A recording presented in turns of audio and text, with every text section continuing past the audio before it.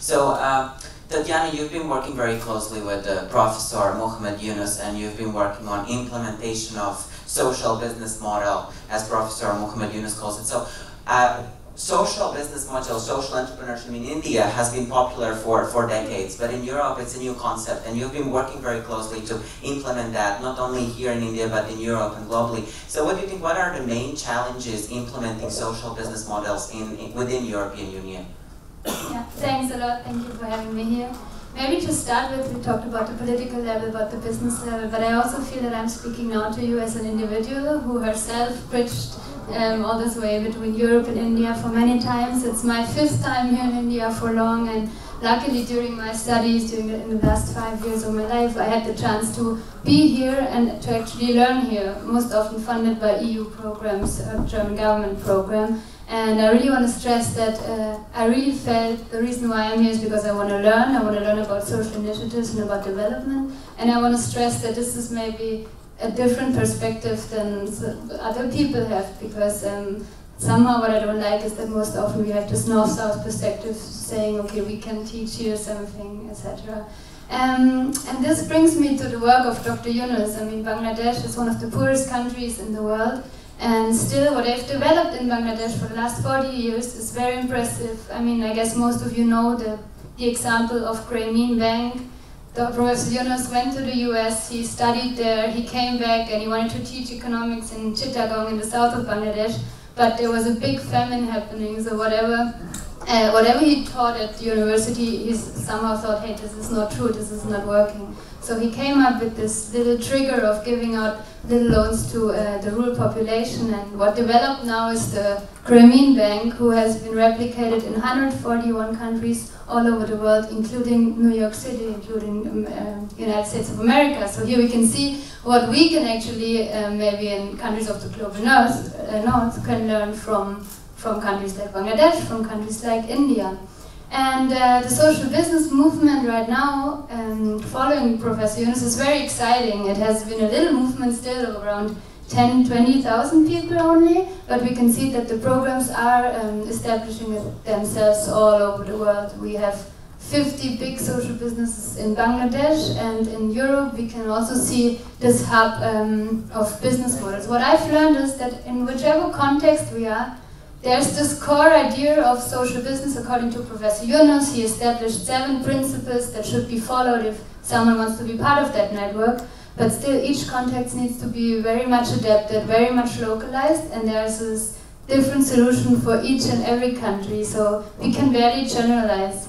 Um, whereas maybe in Bangladesh, it was often used as a tool to development in order to maybe collaborating with also with the government or with um, intergovernment organizations. And what we've seen in Europe is that also corporate, the corporate sector is engaging into the social business model. So we have joint ventures between Grameen and uh, Danone, for example, Veolia. They've set up their own social business company that are as part maybe of their CSR activity in order to create something more sustainable. Um, challenges? You were asking. Well, I think, as I said, you need to have a totally different approach if you're in a welfare state like Germany. Um, there are many. It, it has been a, like a system which has been established for the last 130 years, I would say, starting from Bismarck. So we have these established institutions that take care of social problems. So sometimes innovation, creativity cannot be easily triggered. I feel in Germany, we, for example, lack this creativity and like this innovation. that's why, uh, yeah, we should. That's why, for example, as I said, we can learn a lot from from that. Julian Fronta, you as a German national trying to build an incubator accelerator here in India and bringing uh, European, German intellect to actually advise and mentor Indian-based startups. So maybe you can elaborate a little. So why and what are the challenges for you as a European national actually building something here in the subcontinent? Yeah, I'd, um, I'd like to give you a bit of background about how D-Labs came about and about the team. So we're basically a startup for startups, uh, which means we're still ourselves a young team. And when I say young, it's not only the age of the people engaged, but uh, we only incorporated the company uh, five months ago. Um, what we are aiming for is to bring global knowledge to India. Um, some of my co-founders actually participated in various programs which are quite established in uh, the European Union. Uh, I'd like to mention two of them because they're quite famous across the Union. Um, one is um, the Design Thinking School, which is um, funded and supported by Hasso-Plattner, um, the Hasso-Plattner Institute in Potsdam. Um, they are focusing on design thinking as one method for ideation. And the other bit comes from the Climate-KIC, which is a European-wide initiative on clean tech, uh, urban transformation, smart city initiatives, etc., and works very closely with, with academia um, around Europe. So um, some of my co-founders with Indian roots have had the chance to participate in those programs and were inspired to bring something similar to India and help aspiring entrepreneurs, students to uh, participate in similar programs. What we've been doing recently is putting an event together where we um, give young entrepreneurs the chance to get a taste for those kind of things. So we brought in like 30 um, experts from the European Union and other parts of the world to Hyderabad and gathered them in one place and gave 200 startups the opportunity to learn from them, listen to their experiences, etc. Praveen, uh, you've been uh, speaking about the startup network and a lot of thing about you know uh, India. We have investors from America and maybe like let's from China and all. Uh, see, I mean, I, I, I work with startups and like a lot of us uh, are from the social entrepreneurship background. So when you when we speak from that angle, you know, I mean, like if I have a startup, uh, it's not that like I'm uh, without an introduction or without a reference properly, even reaching out to investors become quite difficult. Now we are talking about crossing borders and going to Europe, European Union, and then look for, you know, attract the venture capitalists and then maybe like uh, take the investment opportunities. So from that angle, uh, you know, how do you think is the environment ready uh, for Indian startups to approach?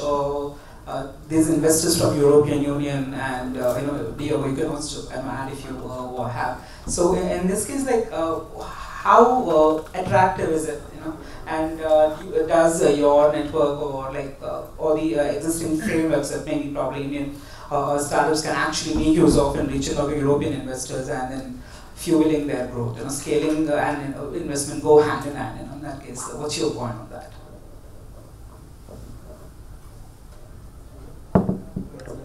Not hearing you. I'm sorry. Do you hear me all right now? Yeah. Hello? Yes. Yeah. So, um, so what we focus on is exactly that. In order to be able to connect the investors with the right startups, right? And uh, so, the one of the ways to efficiently do so is just to reach out to Startup Europe India Network, and we look into our investor base who are interested in uh, both the European and also the Indian markets.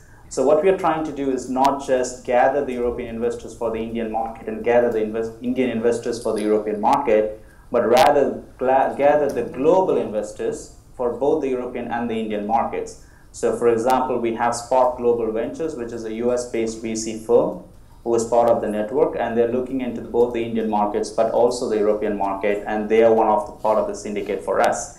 So uh, I think the efficient, what we are trying to do is exactly to address the problem because uh, one of the biggest time uh, that's allocated for a startup founder or the top management is fundraising.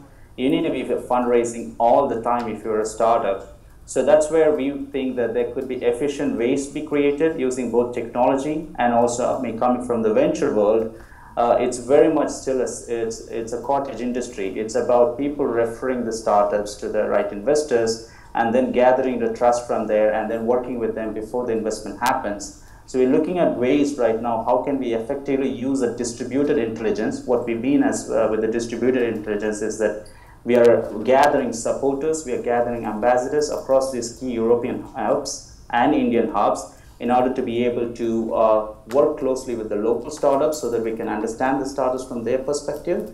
And then how can we this translate this knowledge much more efficiently to the investors so that they could gain trust on the startup and then we can speed up the whole uh, fundraising process for the startups. So that's where we invite the startups. When you say startups, it's not only the just started companies, but also the growth companies that can be anywhere from seed to Series A to uh, Series C and D and beyond is the kind of companies that we were working with.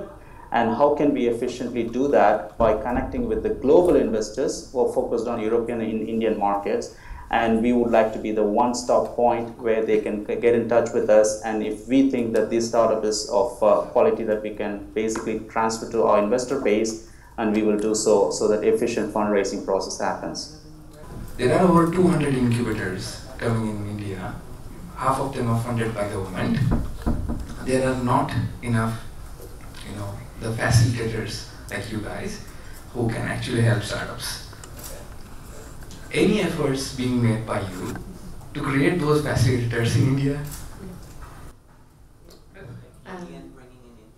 Yeah, like this is exactly where we try to fill the gap um, in bringing in uh, experts, knowledgeable people from from Europe who have been in startup ecosystems around the world. So who have been witnessing the development of a startup ecosystem from the first entrepreneurs being there until you have an affluent kind of community which attracts people from all over the world. It's actually a point I wanted to make earlier.